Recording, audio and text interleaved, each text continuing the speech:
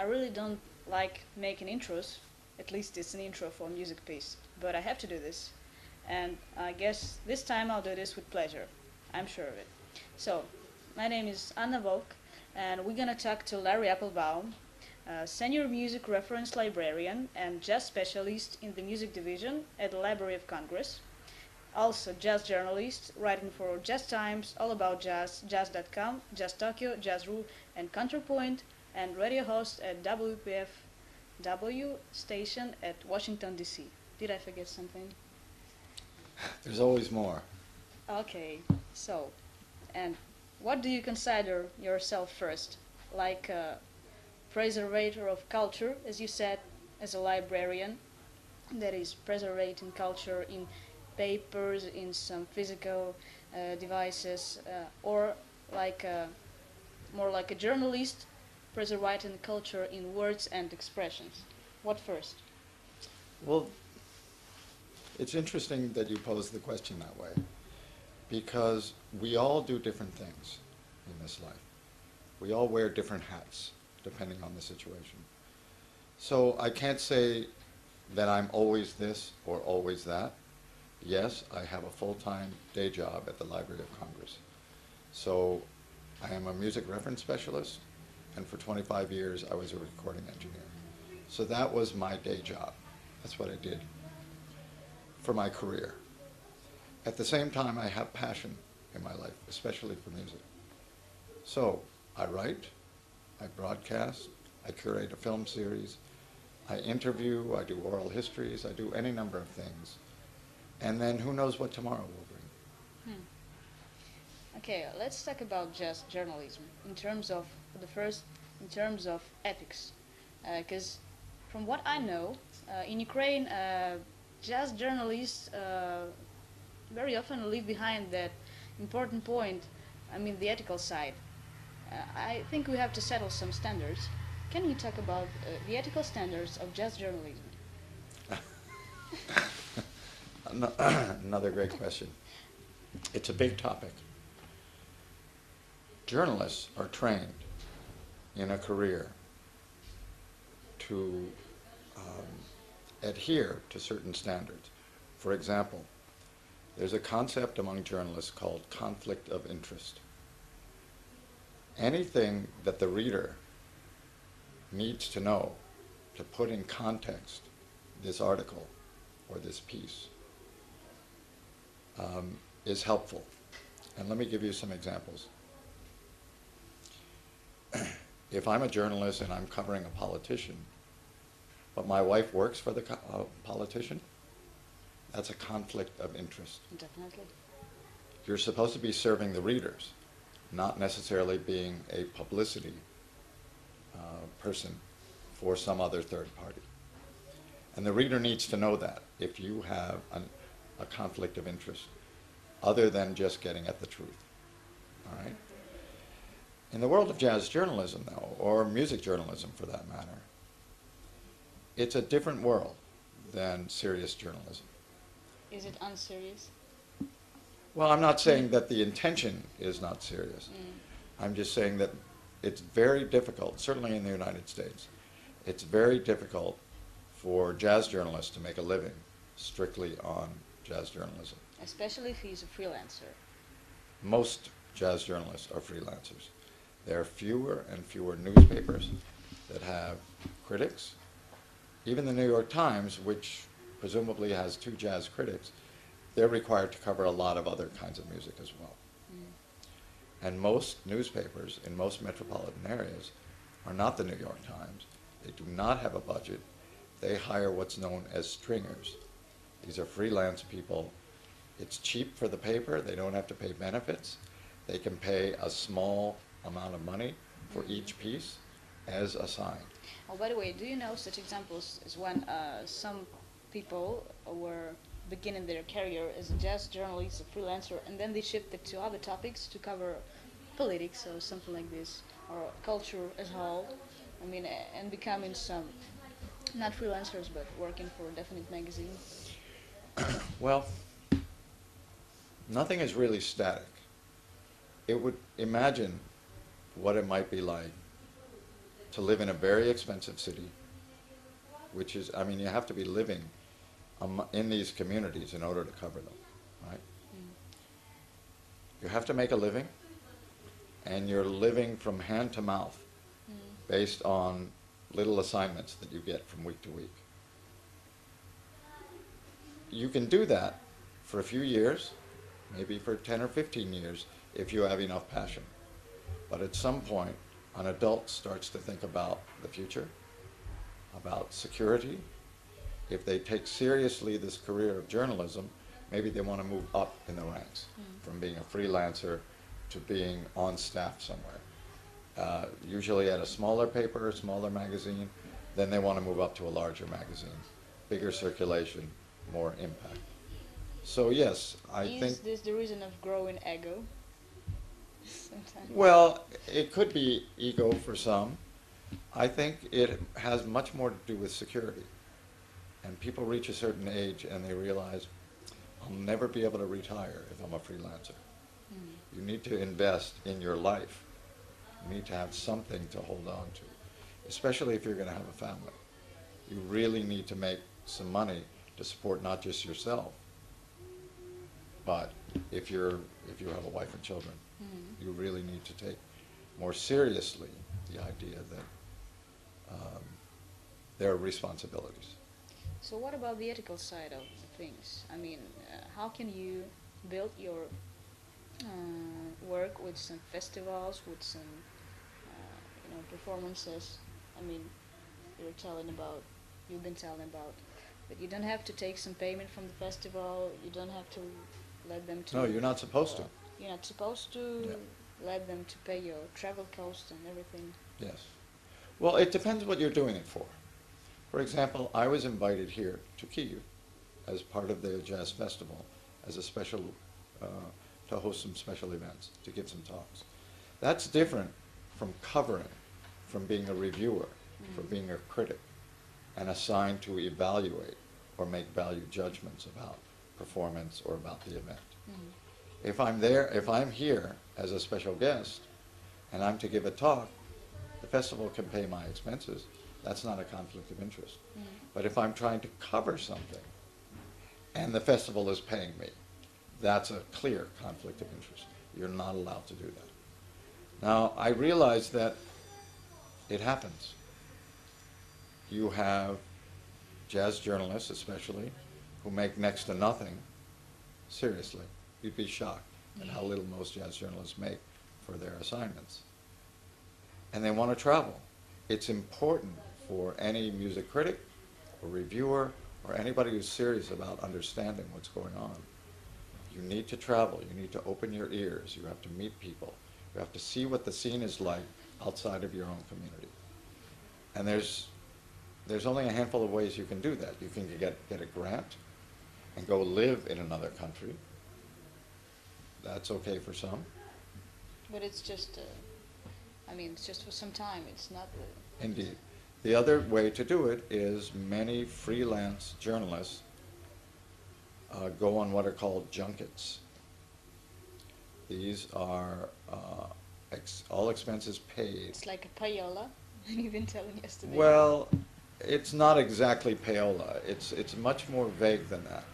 Payola is can is a- you can you tell again about this? Payola is a practice that um, was used primarily in the early to mid part of the 20th century, especially for radio and to an extent on television, early television, in which record companies, for example, or publishers might literally hand money to a DJ in order to play something. Mm. Pay to play was the way it was referred to. So junket is some kind of. And a junket is, is, um, think about it, if you're a journalist, and let's say a festival in France, or England, or Norway, or anywhere you want to go in the world, a festival in Italy, says, oh, would you like to come and review the festival? They want your byline in a magazine, talking about their festival. Mhm. What they want is publicity and they're willing to pay you to do that. Well, if you accept that money and then write a, a positive review, you are just writing publicity. You're doing promotional work for Mhm. them. That's not journalism. And so that's the conflict of interest. And the reader needs to know if you've been paid by the festival. Mm. I mean, this happens all the time. But it's, um, it speaks to the need to establish some standards for what constitutes Really? conflict of interest. Mm. And I keep asking my fellow journalistic colleagues, where do you draw the line? What are we allowed to do and what are we not allowed to do? Mm. In the world of serious journalism, people who work full-time for a newspaper or a magazine, that line is clearly drawn. Mm. You can do this, you cannot do that.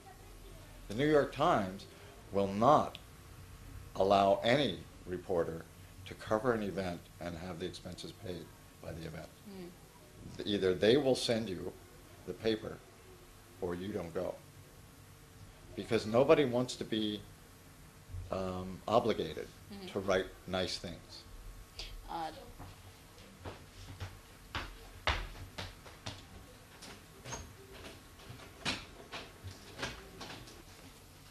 So does JJA has a set of uh, ethical standards, Jazz Journalist Association? No, No? Why? I cannot answer that. I tried to get an answer to that. Mm. We used to meet at the IAJE convention, the International Jazz Association of Jazz Educators. Awards. No, the International Association of Jazz Educators, IAJE. Mm.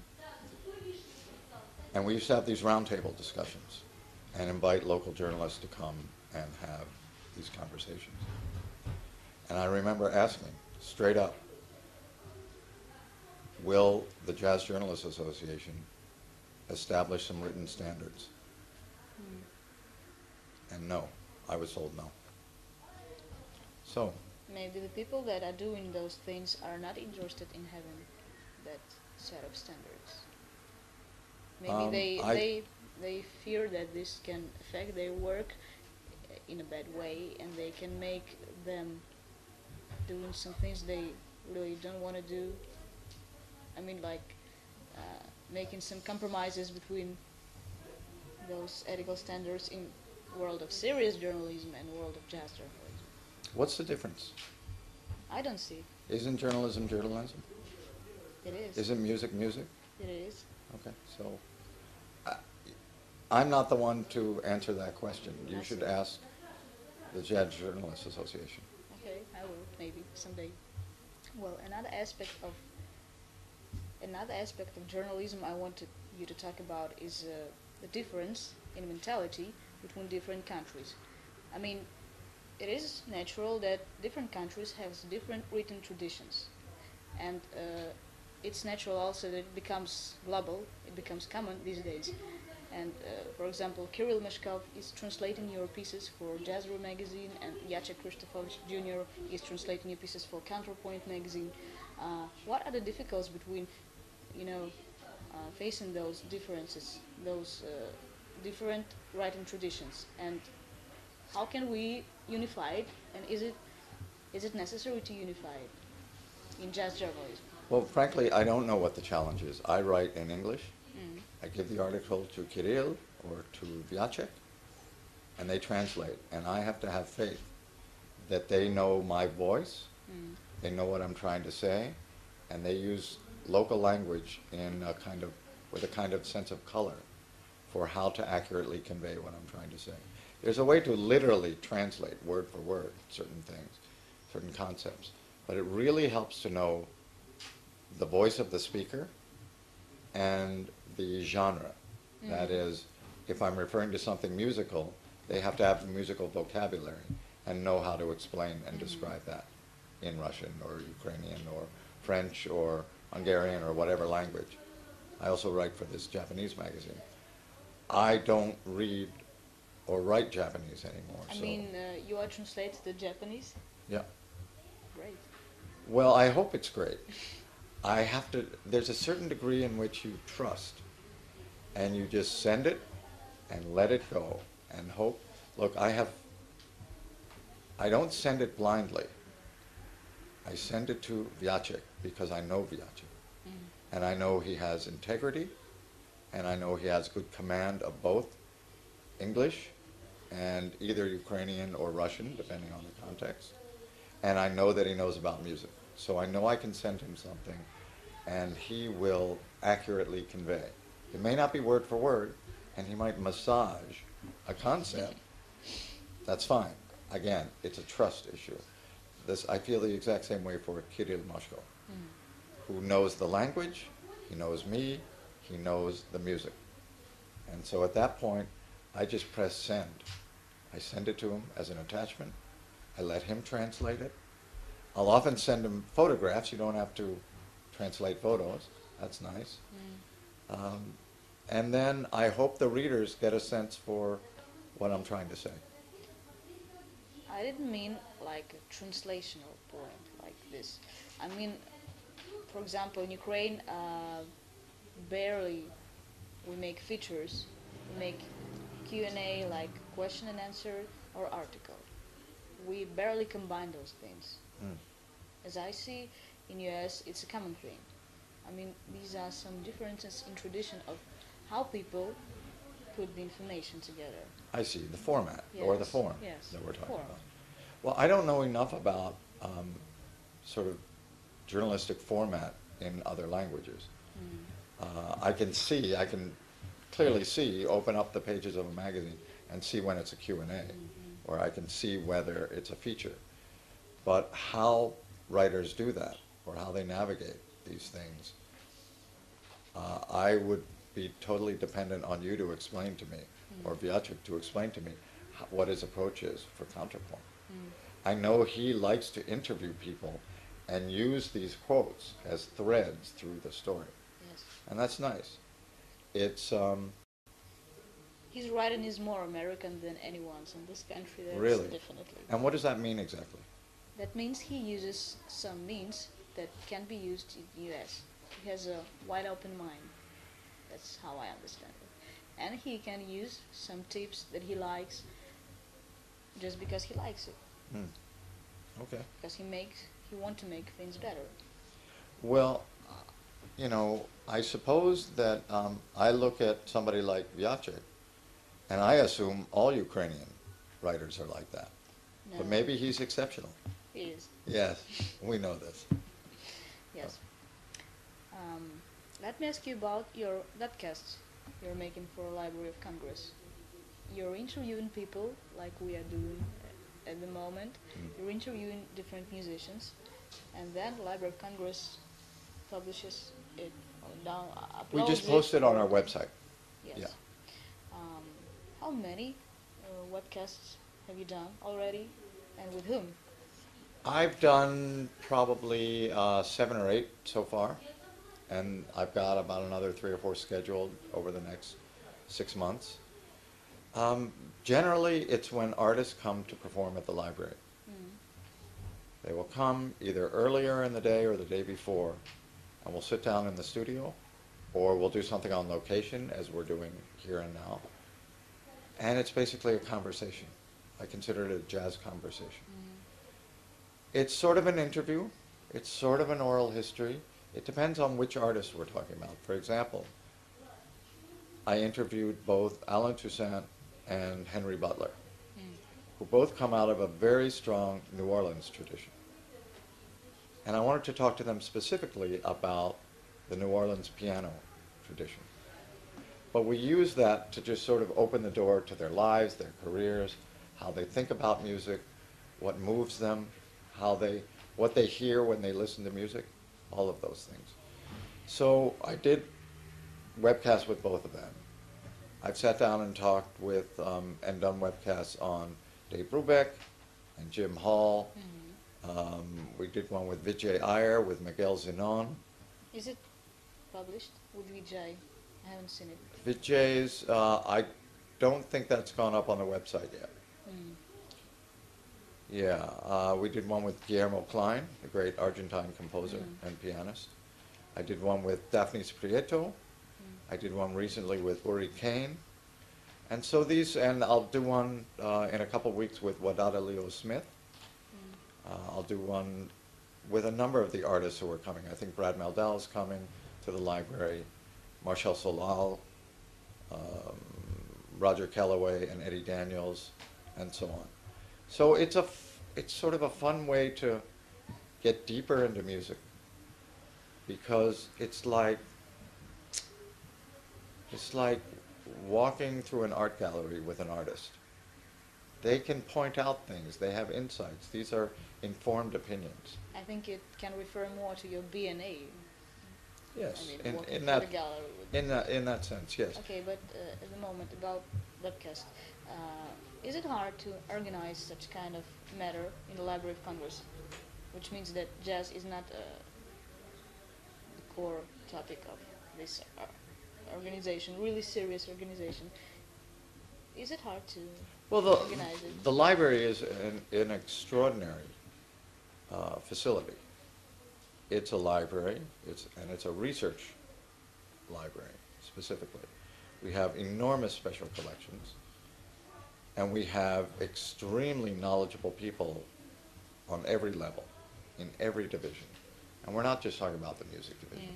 We're not just talking about motion picture broadcast recorded sound. We're not just talking about prints and photos.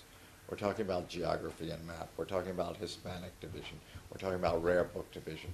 We're talking about these amazing resources. And in each division, there are extremely knowledgeable people, and they're all doing events, and they all want to videotape them and put them up as webcasts.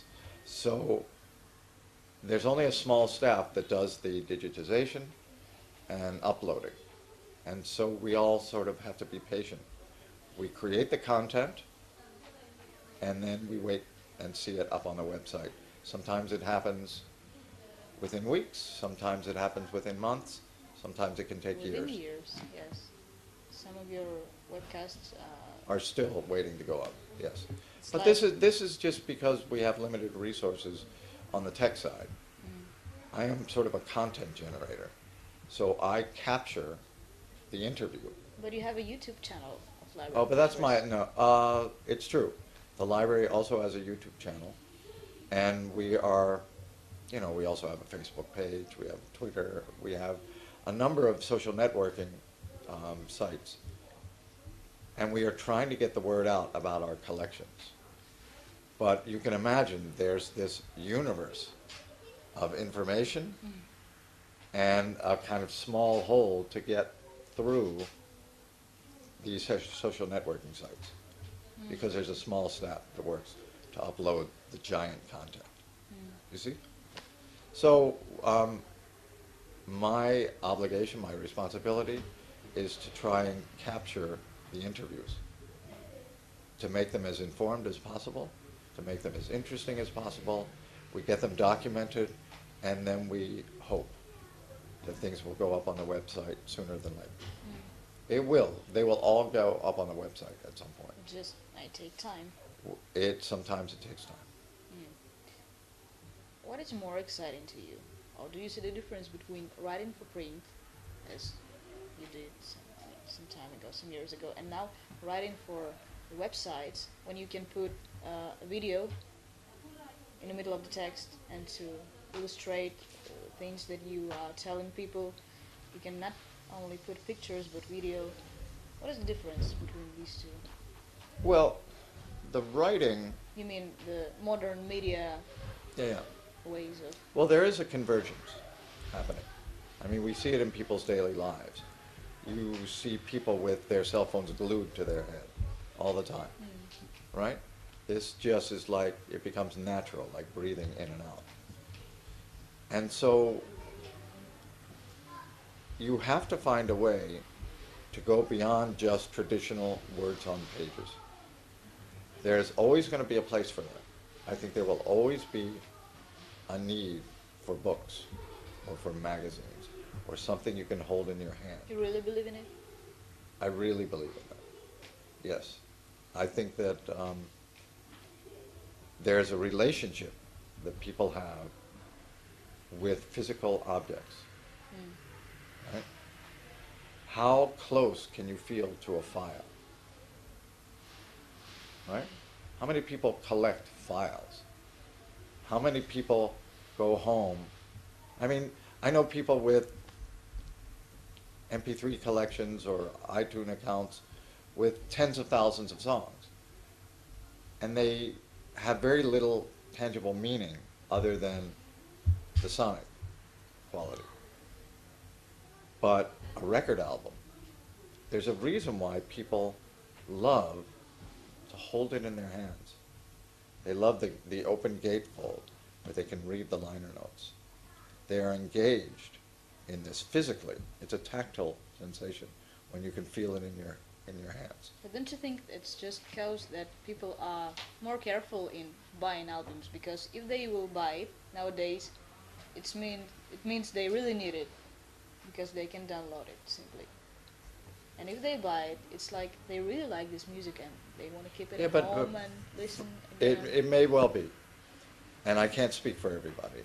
I know that um, my sense is that people don't feel quite the connection to an MP3 because they're so easily deletable or easily downloadable. They don't have meaning above and beyond the song. Whereas I know people who, and I still know people who look for something for years, they find it, it means something. When something's so easy, when all you have to do is click a mouse and you've got it, how much meaning can that really have? It becomes disposable, I think. And so I'm looking for how people interact with music. I mean, that's one of my great interests, is what do people feel when they're listening to music? Hmm. And yes, there's an aesthetic thing. You can listen to the notes, you can like the rhythm, you can dance around your room, right? But I don't think people feel connected to the physical media anymore. Mhm. And that's, look, I don't want to be a Luddite. I don't want to be, have my eyes to the past. We live in a digital age right now. This is the way it is. There's no stopping it. But at the same time, I think there's a need for meaning in this world. Mm. And the, the possibilities inherent in our, in digital media, let's say. But there are advantages. I mean, There, there are certainly advantages, and the biggest one is convenience. Look, you, can- look at how much information you can store on this little device. Are you still recording with that? I am. Yeah, okay. Um, the idea that you can take a little iPod around and put 10,000 songs on it, that's amazing. It certainly is convenient if you're traveling or if you don't want to, you know, carry things around. Um, you're constantly plugged in. The one big difference, though, is how people interact with the music because that's part of the experience of music. For example, I think that people listen to MP3s now with little tiny earbuds, right? Those little things that fit in your ear. You can imagine the frequency response of I do those this. things. I do this every day. Of course, everybody does this. But those tiny earbuds are not great sound at all, not even remotely great sound. I mean, you can spend a lot of money and buy high quality earbuds, but even still, it changes the way you perceive music. You can no longer hear the bottom end as clearly as you could with a decent set of speakers or a good set of headphones. Um, you can't, it's, it's all mid-range, in other words. You don't hear the full dimension of sound. Well, okay, it's a small sacrifice that people make for convenience. They want to have the MP3. The industry was at a crossroads not long ago, maybe eight or nine years ago, in which they were trying to decide whether to get consumers to embrace high definition audio or go full speed ahead with MP3s. And we see what the actual decision was. The record company tried to launch high def or HD audio. They did it in radio, they did it uh, in consumer goods. And it never caught on because people don't really care that much about the quality. They care about the quality of video. They love Blu ray, and they'll buy, they'll pay extra for Blu-ray DVDs. So they like the things that they can see, but most people can't really hear the difference unless you're a musician, unless you're a recording engineer, or unless you're an audiophile. It doesn't seem like much of a sacrifice that earbuds don't sound that great, or MP3s themselves are compressed. Hmm. So you're missing some of the dimension of sound. At the same time, most people can't hear the difference. So this is changing the way we interact with music, I think.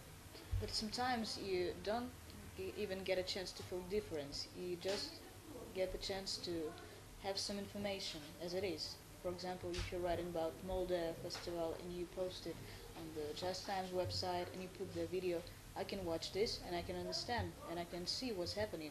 Yeah. Instead, I, I wouldn't have a chance to do this. Yes. Because it Well, this goes back- print. This goes back to the convergence we were Mhm. talking about. And I actually think this is where journalism is heading or should be heading. You really need to give, to paint a more interesting picture Mm. with your words. Because some, if you really do a content analysis of festival reviews or record reviews, for every really insightful review or critique, there are a hundred cliched Mhm. things that say nothing. The other thing is, if you do a content analysis, let's say you pick up any of the major jazz magazines or any major music magazine and look at the reviews, I think you'll find that 90, 95% of them are positive. What does that mean after a while? Maybe everything because is people, great, people just pick records they like and they write about it, and they don't pick records they don't like. but that's Maybe not journalism, that's blogging. That's just opinion then. That's just, you know, sharing your fun stuff. So, and there's a place for that. I'm just saying that most journalists do not get to pick what they want to write about. Mm. Most journalists are assigned something, or they might pitch something to the magazine. Say, hey, I'd like to cover this, or I'd like to review that. Or maybe things have changed so much since I came up, when my editor would say, hey, we want you to review this. And they would send you the disc. And then you would write the piece and email it back to them. Or, in the old days, literally send a hard copy back. Um, I think that even, even among the serious legitimate magazines, I'm not talking about blogs or websites, in the magazines, look at how much of it is positive. It's like, it's PR. It's not terribly insightful reviewing. Maybe people just want to make a good selection for their readers and pick the best. No, the top. That might Yeah, but, that but, might be. but if you only pick the top, and everything you write about is great, you and I both know that not everything co- that comes out is great. Mm. And so what you're hopefully, the service that you provide for your readers is learning how to distinguish between what is good and what is less good or not good. It doesn't mean you have to be crude and put things down. It's just you're trying to show people how to how to listen or how to evaluate. And if everything is great, well, where's the measure? I mean, what's the criteria you're using? I, look, a lot of it's subjective. So much of it comes down to how you feel about it or what it sounds. If it sounds good, it is good, right? At the same time, I, I know that uh, I'm reminded of what my friend Francis Davis said. Mm. You know, Francis writes for the Village Voice, and he's a he's a great author. He's written half a dozen books. He's a he's a very insightful reader, uh, writer, Mm. and reader, and listener. Francis, um, he was asked, "What is a jazz critic?" He said, "A jazz critic is anybody who gets free records from the label." Right? And it's in in that sense, it's true. There was a time when we had serious critics, not just in music, but in the arts. It's like they could and pick culture. any record and write what they think about it. Yes. Any. Yes. But the thing is, if you like everything, where's your sense of taste?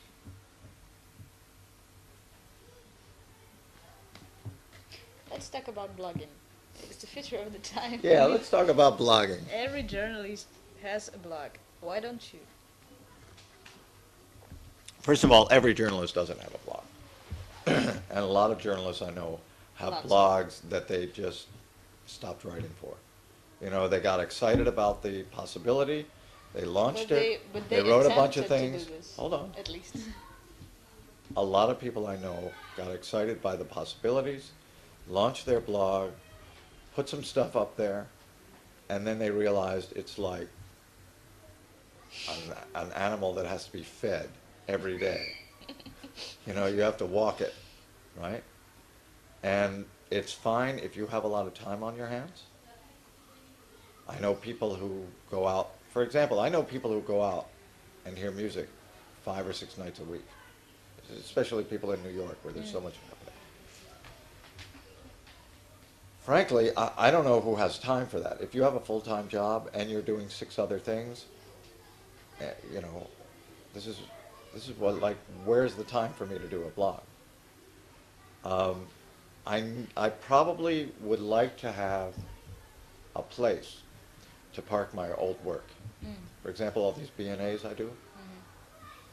Since Jazz Times was sold and then, you know, the, the old website no longer exists, a lot of people would like to see that stuff archived. Because I've done thirty-five or forty of them by now.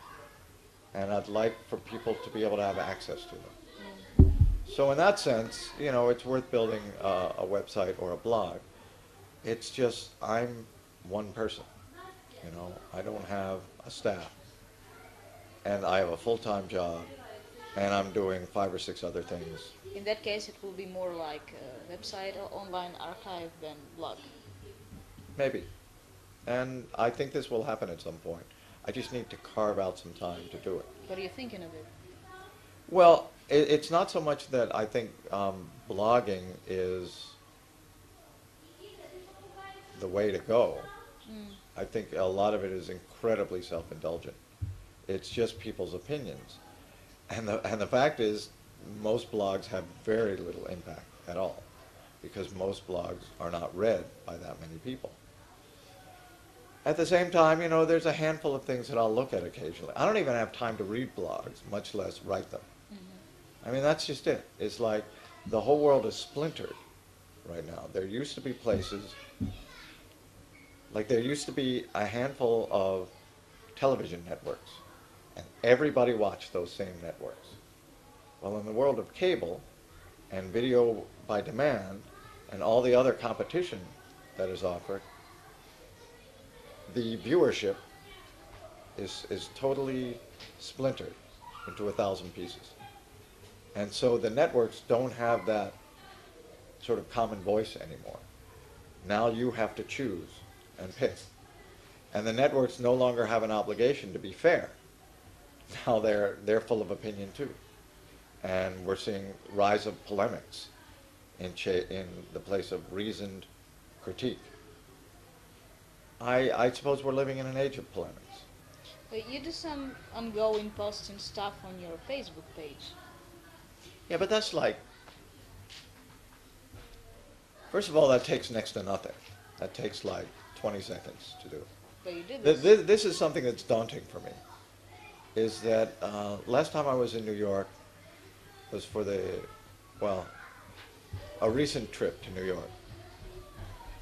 I met, I was at a gathering with lots of jazz journalists, and more people commented on my Facebook postings than on my writing. And that depressed the hell out of me. I mean, because I spent a lot of time on my writing, and I realized people don't read anymore. They glance at things. That's why Facebook is perfect. That's why Twitter is perfect, because the attention span is so short now. Mm. People don't seem to be willing to read a whole book. That's why people always ask me, why don't I write a book? And I think, well, who's going to read it? People don't read anymore. Me. You will read it? Yes. Yes. And your editor. Yes, maybe. Um, well, that's two people. I- not that's not less. That's not it less.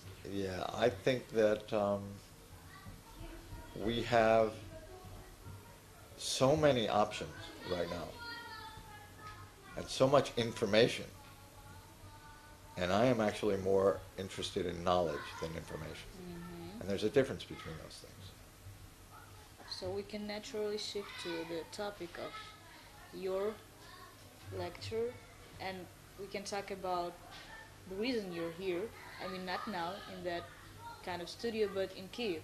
You've been invited by the Jazz in Kiev Festival, like a special guest, to make some lectures, to give some talk. And what does it mean to you to be invited like a special guest? Well, it's an honor, first of all. I really respect what people have done here because the last time I was here was six years ago. There was no jazz festival here. Mm. There was a little bit going on, you know, some things, occasional nights in a club, and there were musicians who were clearly trying to do things, and there were occasional recordings coming out. But there was no sort of international presence. And three years ago, they just created it. They just did it. I'm sure it wasn't easy. They had to find the money and the sponsorship, and they had to learn as they go. But they were successful. And they built on that success. And now we're three years into it, and it's a big deal, I think. I mean, look at who's performing here. So it's, it helps put Ukraine and Ukrainian jazz on the map. There's a scene here. It lets the world know that. So I'm honored to be part of that. As far as, um, and it's interesting, again, to return and to see how things have grown. I don't just mean the city. I mean, there's certainly construction see, going see. on. I see new buildings.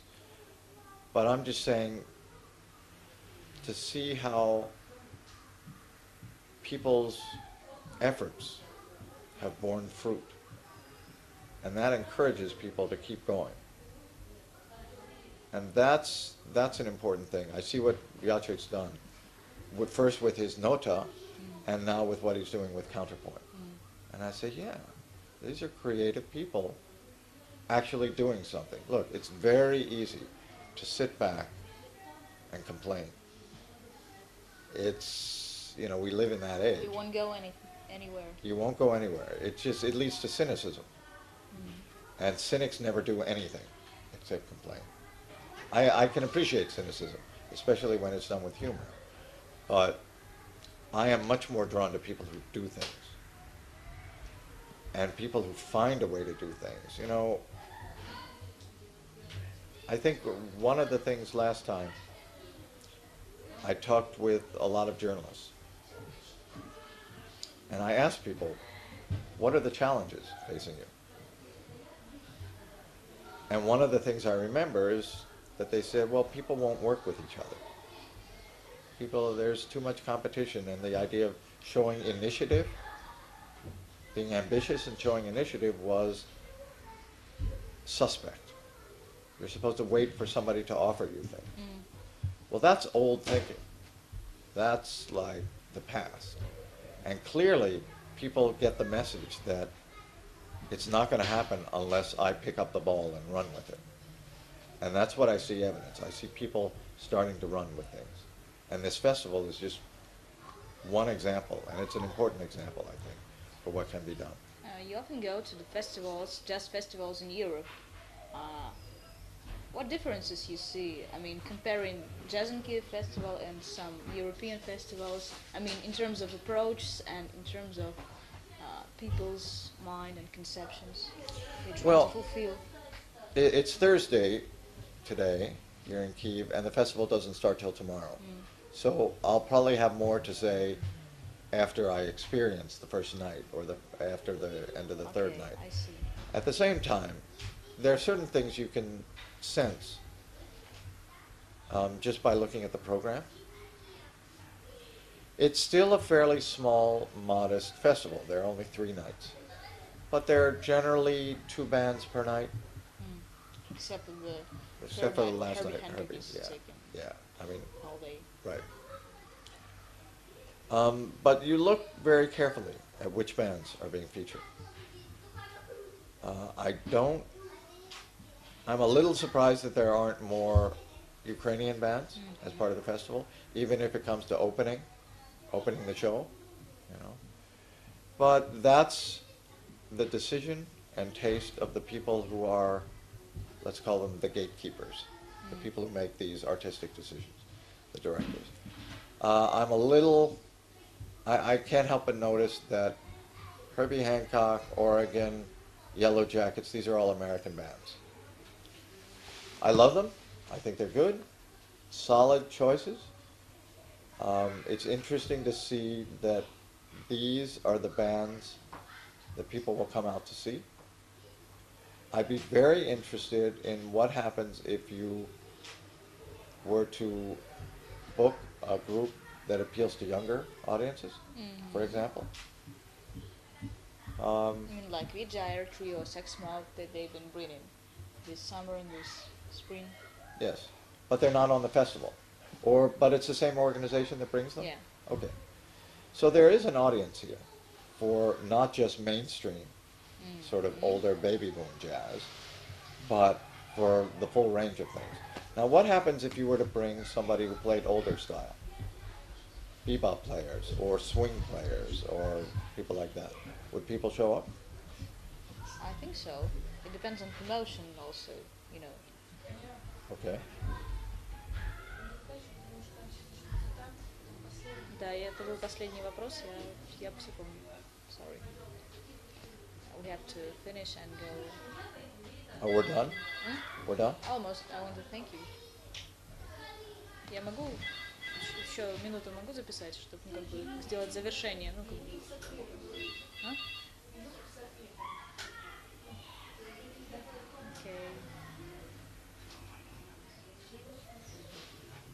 Сейчас записываем?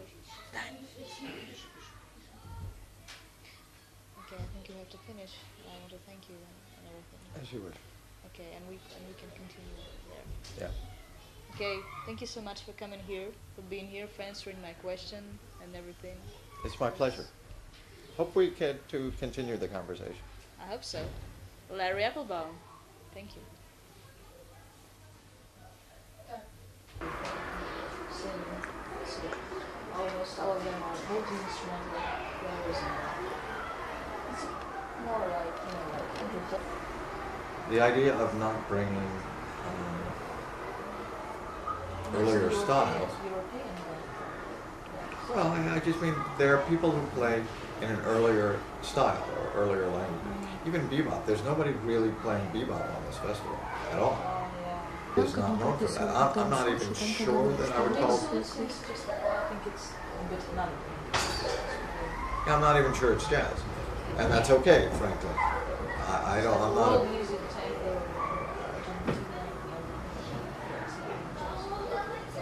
but it's beautiful music, and music is music, and so. Um, if you if you talk about it's sort of all on the margins. It's the Yellow Jackets, which is sort of fusion. It's Herbie, which is like a mishmash of all kinds of things. That Imagine project. Um, Oregon is another kind of fusion, you know, acoustic fusion. There's uh, the Nueva Tango, and you know, with chamber music. There's no straight ahead stuff. Uh, we're not. Are we recording this? No, Ah, okay. Club bringing only free jazz players, young, unknown, from Europe, whatever, they come, come, come, come, come, and people every night, every night. always. I think that again, this festival is very young. And think about young people. You know, uh, it will grow. And I think it will face some financial realities that you can't keep appealing to the same audience all the time. Keep jazz festivals a little different. But the point is that they You can't just keep booking your favorite people. they began the festival and it's just like the like a free. So the entrance was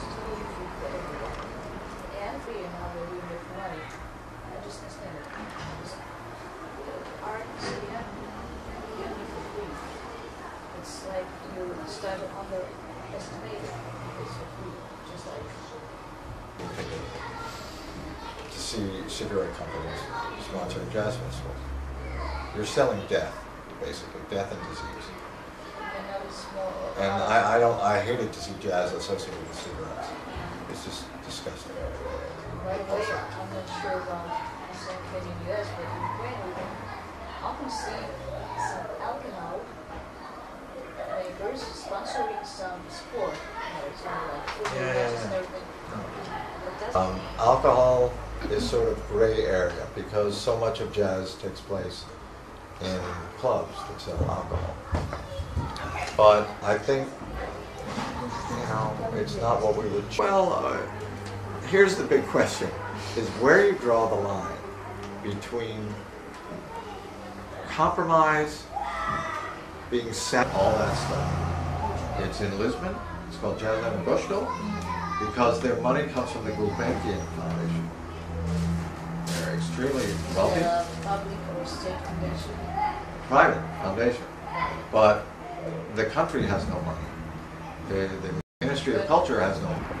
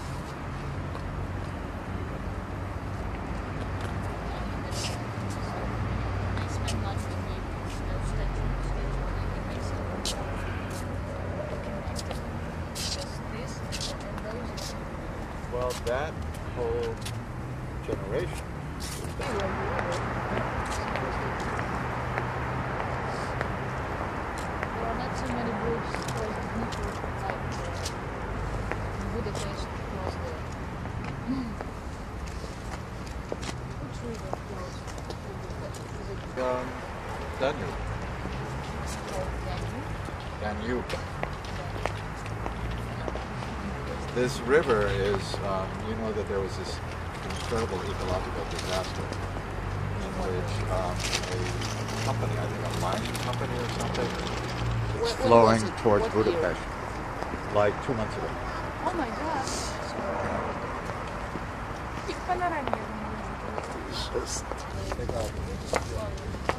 Just...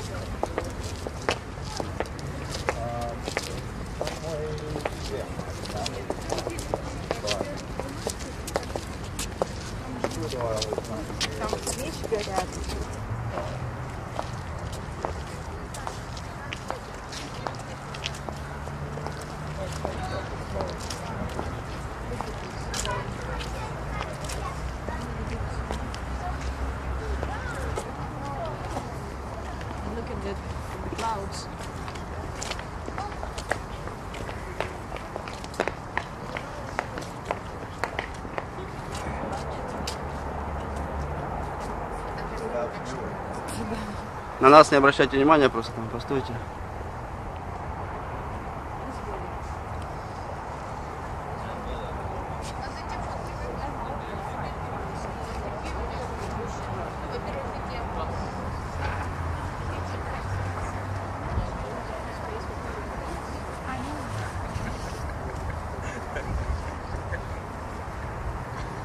Иди сюда, посмотри. Папа, здесь а видно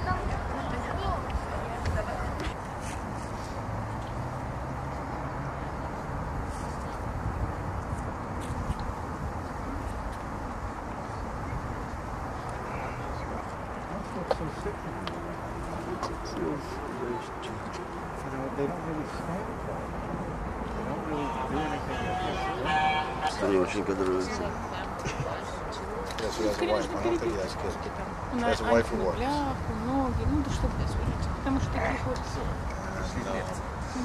There's another guy who like he, he'll write reviews about like an old girlfriend of a friend of his, and he doesn't mention it in the article. That's not cool. You just not right. And so his It's like the bill claimed that he didn't tell the people about the cancer of the bed. just Камера не отрабатывает. you know it undermines your credibility That's a shame because what you know. А там сколько мы стояли? Сколько Не, ну вообще. Да там минут 40, да. Минут ну 40? там. В смысле, чисто времени разговора, минут 40. А, нормально. Все равно я тебе рекомендую не, ну, не.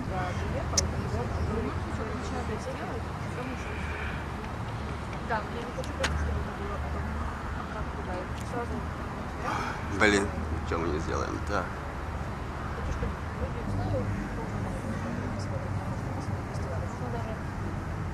Ну, нам будет, будет достаточно, смотри, вот этого микрофона, если на него в поле. А ты хочешь, э, подожди, это в субботу. В субботу. Про субботу.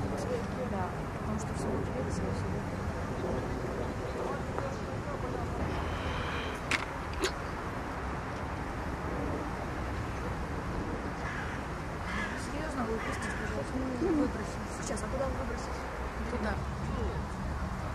кнопкой сразу зашло.